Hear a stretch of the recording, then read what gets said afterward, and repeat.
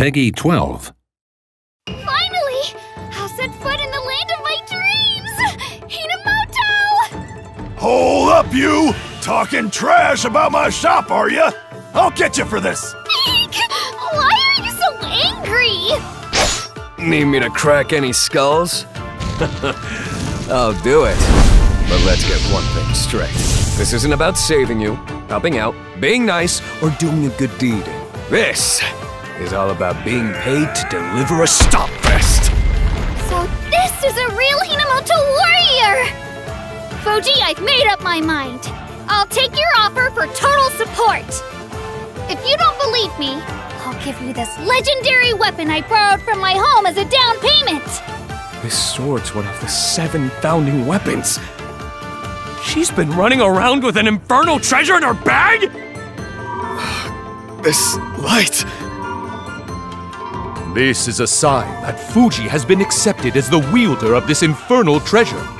So this is fate, huh? Fine by me. The fact of the matter is, Miss Pirilika is not simply here on holiday.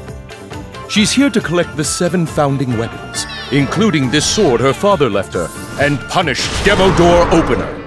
Since you've been chosen by the sword, meeting you was fate! no doubt about it. Join me and help restore Bushido. The seven founding weapons, huh? It'll be a pain, but for a hundred million, I'll do it.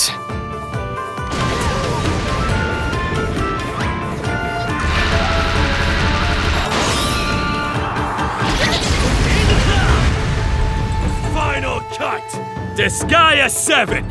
Vows of the Virtueless! To hell with honor! How interesting. Who'd have thought that he would stand in my way now? Coming to Nintendo Switch and PS5